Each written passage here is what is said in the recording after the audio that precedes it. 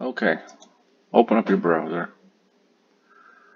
Um, start typing in ASCOM, A-C-S-O-M, enter. Scroll down until you find ASCOM Standards for Astronomy. Open this. Go over to the right and download the latest ASCOM platform. You're going to need it. It's a requirement. Download, install, come back to this page, go to the drivers and plugins, go to, over to the left side, telescope slash mount, scroll down until you find the Explore Scientific PMC8 mount controller driver. Click visit the site. Here we're going to scroll down and we're going to come across first and foremost the PMC8 Configuration Manager version 1.0.3. Go ahead and download that, but let's not run it just yet.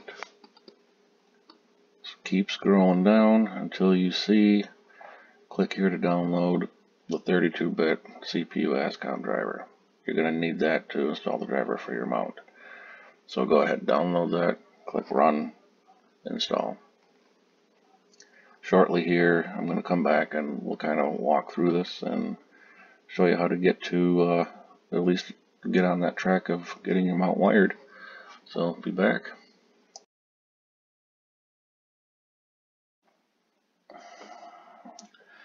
Then once you get it, then when you get it opened up, you'll be seeing this screen here go over to the connection part. Select the mount from your drop down menu here. You have to be plugged in. Your mount needs to be plugged into your laptop before you can go any further with this. So you need a micro USB cable. I was pretty sure that's what it is. So when you connect your, turn your mount on, you'll be connected to Wi-Fi and go down to the setting here and that finds your mount, your amounts Wi-Fi and click connect. So you'll be sitting there, it's going to be trying to run on, it'll be running on Wi-Fi. Yeah, then you'll get, this won't be down here anymore. When you do that, also find here, see mine is not highlighted, but there should be a communication port listed in here if there's not. Um, usually once you plug the mount in right away, it's going to pop up as COM3 typically. So once that's in there, you can just click on do it. It'll find its current connection. When you want it to go to wired, you click on this one when this highlights. Click do it. Sit back for a couple seconds. It's going to do its business and you'll get messages down here saying that it is successful. That is all you need to do to get it to run wired.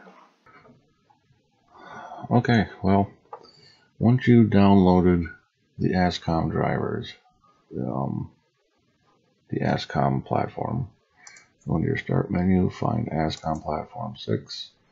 You want to scroll all the way down until you find the Path Scope Dome Hub. You open that. You're going to get to this little box here. Click on Setup. Come up in here and click Setup. It's not going to let me do it because I don't have the drivers installed, but this is just me trying to show you. Another window is going to open up and you'll have to choose your the iEXOS 100 mount from a drop-down list. Enables um, serial. Enter your long, latitude and longitude.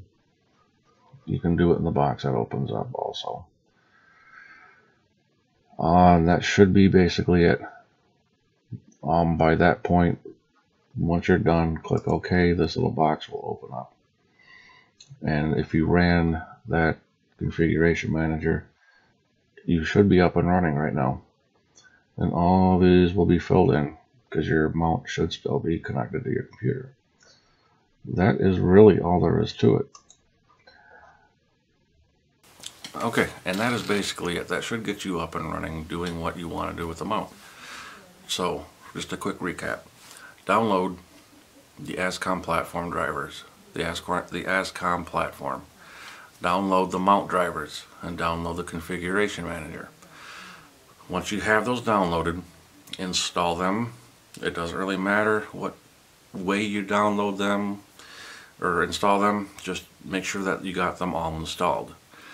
Now, when you go to connect your mount, just power it up, open up your laptop, find it in your available Wi-Fi, connect to it, and chill for just a second.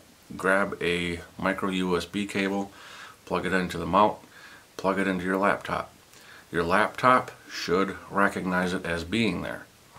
That's where you have to choose the COM3, COM2, COM1, whichever one it's going to designate it as. If it does not, read it. You can find a generic serial port communicator, or yeah, communication port driver, generic one, anywhere on the net. Download it, install it, and then start over again. And just, you know, start from turning on your mount, all that good stuff. And then just go through and hit you know select the mount from that drop down list. And you hit the uh, what port hit that and it should pop up at that point. If not you're gonna have to keep trying to find that right driver. That's the first time I encountered it that's the first time I started running into my problems was right there um, it was not recognizing my mount but most of these newer computers laptops will read it. So you should be fine. Once you connect and hit the do it to find its current connection first because the rest of the rest of those options won't be highlighted. And right along the bottom there'll be that message center. It'll tell you how it's connected at that point. Then the next then the next two should open up as, as available options. You want the one that says connect serial. Click on that, wait a couple seconds, and along the bottom it'll tell you if it was successful or not. You might have to do it a couple of times. Um, please bear with me, it's been almost a year since I've had to do that, but it finally connected. Once you're connected that way, then you can download any software out there that will help control your mount. I highly, highly recommend Astrophotography Tool or APT. And getting that to recognize your mount is very simple. All of the uh, directions are there. It's very simple.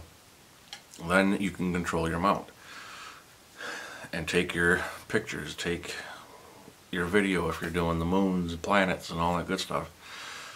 But other than that, I mean, once everything falls into place, you should be up and running in a matter of about 15 minutes doing it wired. If you have any questions, any comments, um, if I went over something too quickly, just, you know, down in the comments section, just say something. Say, hey man, something didn't quite work, or where do I go for that? How do how did you do this? It's all good. I'm doing this because there's just nothing out there to help anybody with this mount. So I'm trying to give you guys my knowledge and hopefully by following along and seeing what I've done, you can just simply go, hey, that's cool, plug it in, 15 minutes later, you're connected wired and you're not worrying about messing around with Wi-Fi anymore. So that's all I've got. That's how it is. That's what it is. And I wish you all clear skies.